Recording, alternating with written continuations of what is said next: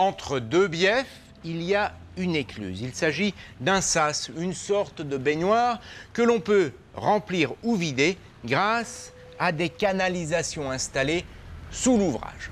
Pour monter d'un niveau, la péniche pénètre dans le sas, puis les portes se referment derrière elle. À ce moment-là, on ouvre cette vanne. L'autre reste fermée.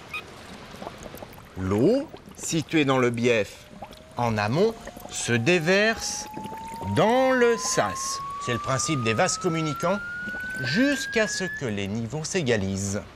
Puis les portes s'ouvrent et la péniche poursuit son chemin. Pour descendre d'un niveau maintenant, comme l'a fait Sabine, eh bien, c'est le principe inverse. On ouvre cette vanne, tandis que l'autre reste fermée. Et en vertu du même principe, l'eau du sas se déverse dans le bief situé en aval. Jusqu'à ce que les niveaux s'égalisent.